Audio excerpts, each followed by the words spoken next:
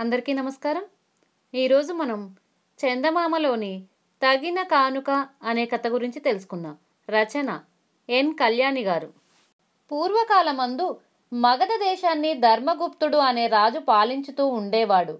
ఆయనకు ఒక్కగానొక్క కుమార్తె. ఆమె సాటిలేని రూపసి దైవభక్తి కలది.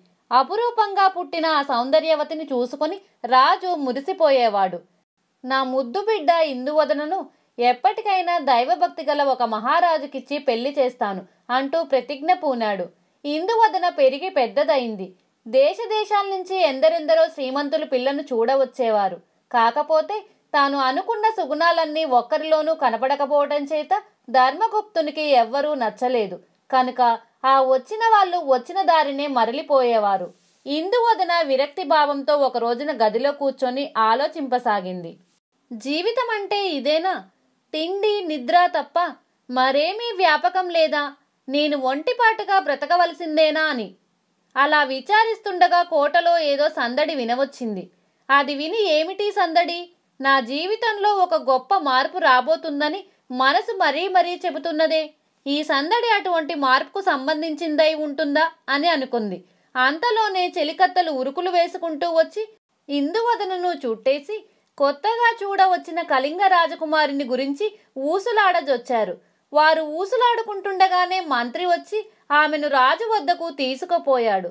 ధర్మగుప్తుడు ఆమెను చేరదీసుకొని అమ్మా మన అదృష్టం ఫలించి ఈనాటికి నీకు తగిన సంబంధం వచ్చింది అంటూ కళింగ రాజకుమారుని గురించిన వివరాలన్నీ ఆమెకు తెలియజెప్పాడు. తండ్రి చెప్పిందంతా శ్రద్ధగా విన్న తర్వాత ఇందువదన నాన్నగారు మీరు చెప్పిన ఐశ్వర్యములన్నిటికంటే నాకు నా దేవిని సంతోషపెట్టడమే ఎక్కువ. కళింగ రాజకుమారులు నా దేవికి తగిన కానుకను ఇయ్యగలరా అని అడిగింది. తప్పకుండా ఇస్తాడమ్మా. చిన్ననాటి నుంచి అతన్ని నేను ఎరుగుదును నీలాగనే దైవ పూజ అంటే ఆసక్తి కలవాడు. కనుకనే ఈ సంబంధానికి ఒప్పుకోవాలని బుద్ధి పుట్టింది నాకు అని తండ్రి చెప్పేసరికి ఇందువదన ఆనందంతో సమ్మతించింది. మరికొద్ది రోజులకే మంచి ముహూర్తాన ఇందువదన్ను కళింగ రాజకుమారుడైన కృపావర్మకిచ్చి వివాహం చేశారు.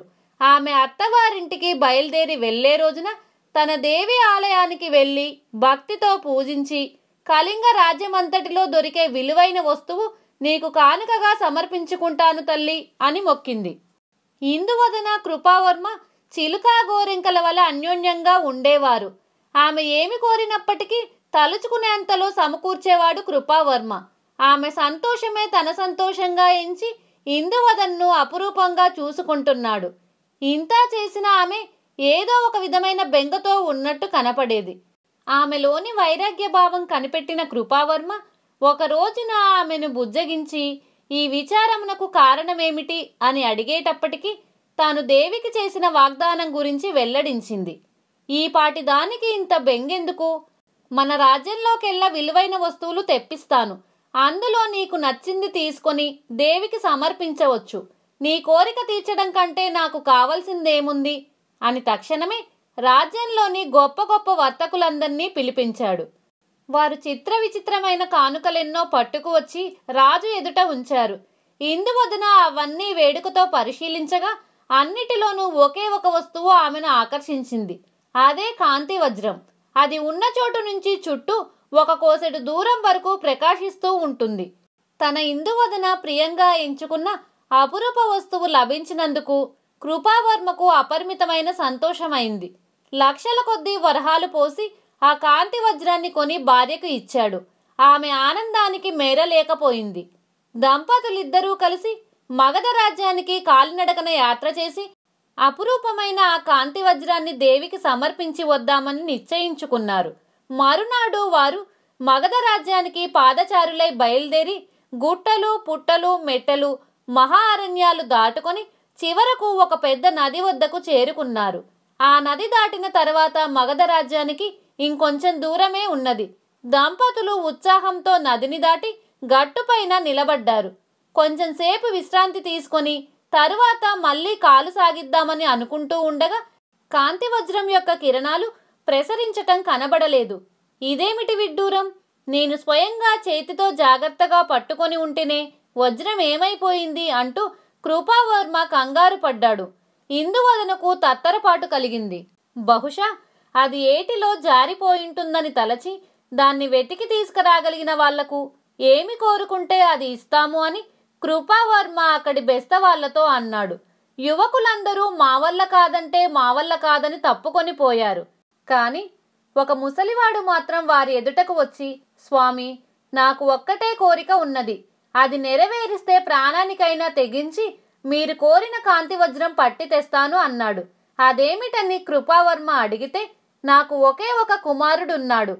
వాడికి మర్యాద గల జీవనోపాధి కల్పించాలి అన్నాడు.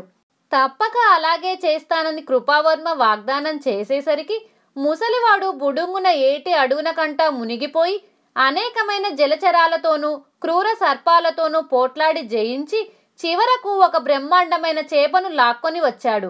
స్వామి మీ వజ్రాన్ని మింగిన చేప ఇదే అని అనేటంతలో ఆ చేప తన పెద్దవాలంతో ముసలివాన్ని ఒక దెబ్బ కొట్టింది. దెబ్బతో వాడు నీటిలో అలాగే సోలిపోయి మరి కనపడకుండా పోయాడు. కృపావర్మ ఆ చేపను కోసి వజ్రం బయటికి తీసేసరికి వింత చూడటానికి చుట్టూ జనం మూగారు. కాంతి వజ్రం దొరికినందుకు దంపతులు సంతోషిస్తూ ఇక బయలుదేరిపోదాం అనుకుంటూ ఉండగా ఎక్కడి నుంచో ఒక గుంటనక్క వచ్చి ఆ వజ్రాన్ని నోట కరుచుకొని పరుగు తీసింది. కృపావర్మ ఆ గుంటనక్కను వెంబడించాడు. అది అతి వేగంగా మూడు కోసుల దూరం పరిగెత్తి ఆ వజ్రాన్ని ఒక తుప్పలో వదిలేసి మాయమైంది. పాపం కృపావర్మ కష్టపడి ఆ మూడు కోసులు నక్క వెంట పరిగెత్తి అది వదిలేసిన వజ్రాన్ని ఎలాగో మళ్ళీ పట్టుకున్నాడు. దంపతులు అలసట తీర్చుకుందామని ఒక చెట్టు కింద నడుం వాల్చి ఊసులు చెప్పుకుంటూ ఉన్నారు.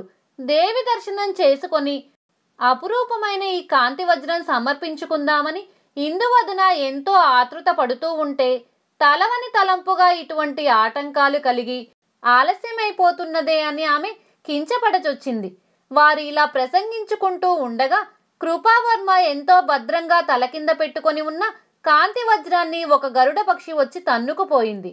అదేమి చిత్రమో కాని ఆ గరుడ పక్షి తన దారిని తాను ఎగిరిపోక వారికి అందుబాటులో ఉండి చుట్టూ తిరగసాగింది. ఇది చూసి ఇందువదన పక్షి పట్టుకుపోయిన వస్తువు ఇంకా దొరికేదేమిటి? అది కేవలము అసాధ్యం అనుకొని నిస్పృహ చెందింది. నా దేవిని సంతోష పెట్టలేకపోయాను. మాట నిలబెట్టుకోలేకపోయిన దురదృష్టవంతురాలను. నేను ఉండేమి లేకేమి అని ఆమె తనను తానే నిందించుకుంటూ ఆ గరుడ పక్షి ఎగురుతున్న దారినే వెంబడించింది. తనకి ఇష్టం లేకపోయినా కృపావర్మ భార్య మీది ప్రేమ చేత ఇందువదన వెంట పోజొచ్చాడు. ఈ విధంగా గగన మార్గాన గరుడ పక్షి భూమి మీద కృపావర్మ ఇందువదనలు అలా తిరుగుతూనే ఉన్నారు. కొంత దూరం అలా పోయిన తరువాత గరుడ పక్షి వాయువేగంతో ఈశాన్య దిక్కుకు ఎగిరిపోయి అదృశ్యమైంది. దంపతులు ఆ పక్షిని ఇక వెంబడించలేక అది ఎగిరిపోయిన దిక్కున అంతులేని దూరం నడవసాగారు. చీకటి పడే వరకు తిరిగి తిరిగి వారు ఏమీ తోచక చతికిలపడ్డారు మరి కొంచెం సేపటికి ఆ కటిక చీకట్లో ఒక దిక్కున గొప్ప వెలుగు కనిపించేసరికి ఆ వెలుగు ఏమిటో వారు సరిగ్గా గుర్తించలేకపోయారు కానీ అటువంటి వెలుగుతో వారికి ఇంతకు ముందు పరిచయం ఉన్నట్టు మనసుకు తట్టింది. ఈ విడ్డూరమేమిటో చూసి తెలుసుకోవాలనే కుతూహలంతో లేని బలం తెచ్చిపెట్టుకొని ఆ వెలుగు కనపడే దిక్కుకి కాలు సాగించారు. ఎలా అయితేనేం ఆ స్థలం చేరుకోగా అది ఒక దేవాలయంలో వెలుగుతూ ఉన్న జ్యోతిలాగా కనపడింది. తీరా లోపలకు వెళ్ళి చూసేసరికి వారి ఆశ్చర్యానికి అంతులేకపోయింది అది ఇందువదనకు ఇష్టదైవమైన దేవీ ఆలయం. ఆలయంలో దేవి శిరస్సు నుండి ప్రకాశిస్తూ ఉన్నది వారు పోగొట్టుకున్న కాంతి వజ్రం తమకు దారి తెలియకుండానే ఆ కటిక చీకట్లో వారు మగధ రాజ్యంలోకి వచ్చేశారు. ఇంతకు పూర్వం అనేక కష్టాలు పడవలసి రావటం ఇప్పుడు ఈ విధంగా వారి సంకల్పం సిద్ధించి మేలు చేకూరటం ఇదంతా ఆ దేవి మహిమ తప్ప వేరు కాదని వారు నమ్మారు. అప్పటి నుంచి వారికి దైవభక్తి మునుపటి కంటే కూడా ఎక్కువైంది. భక్తురాలైన తన కుమార్తెకు తగిన భర్త దొరకటం గొప్ప అదృష్టంగా భావించాడు ధర్మగుప్తుడు. దేవికి తగిన కానుక సమర్పించగలిగానని ఇందువదన పొంగిపోయింది. అనుకూలవతి అయిన భార్య దొరికినందుకు కృపావర్మ కృతార్థుణ్ణి అనుకున్నాడు. ఇందువదన కృపావర్మలు మళ్ళీ తమ రాజ్యం చేరుకున్న వెంటనే బెస్తవాన్ని కొడుకును పిలిపించి అతన్ని సేనాధిపతిగా నియమించి మాట నిలబెట్టుకున్నాడు. కథ సమాప్తం.